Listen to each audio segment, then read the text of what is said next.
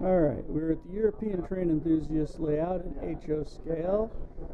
Um, I believe the catenary here might be live. It's def, nope, not live catenary, but it's certainly pretty complete looking. Uh, yep, it ends at the turnback loop. This always reminds me of my five years in Germany. Fortunately, pleasantly so. I enjoyed Bavaria. Go ahead.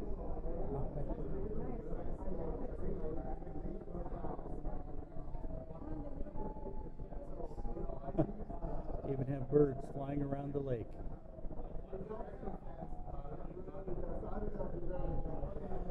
And while it's rather hard to tell, this is a three rail track with the studs down the middle. So it's probably all Märklin or related equipment. Let's take a walk.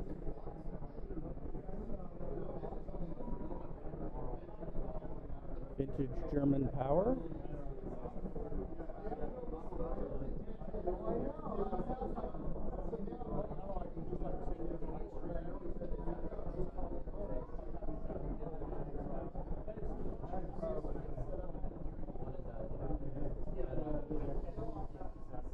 Looks like a Roman aqueduct. I saw those in Europe just earlier this year. And an archaeological dig.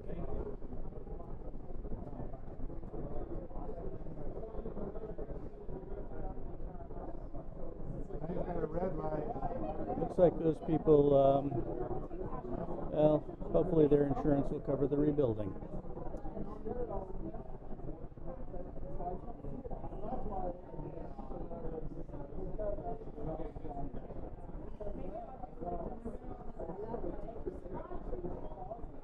We've got a ruined castle up here.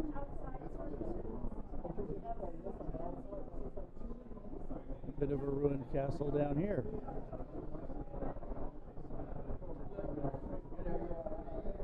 And what could be a partial castle in good shape up there.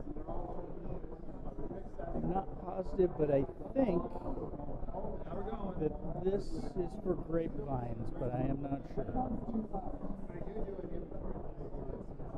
It would appear the uh, orchard has at least two different varieties.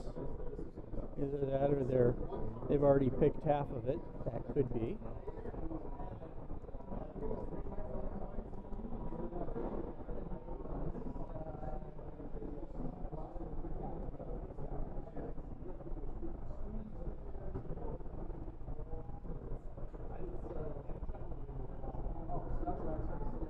Uh, almost missed the Gast House with the beer garden and the Oompah band. There appears to be one out there. Little mini Oktoberfest going on. There's actually all sorts of fests throughout the uh, spring, summer, and early fall in Germany. Oktoberfest is merely the largest by a lot.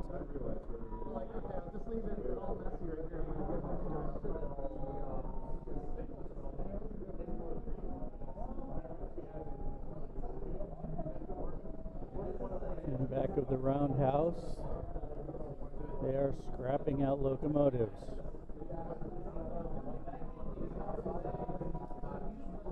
As we come past this, we enter winter in the Bavarian Alps.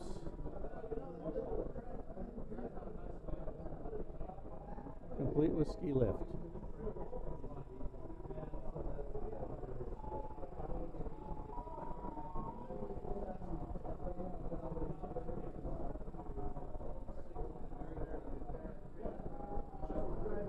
To the next layout.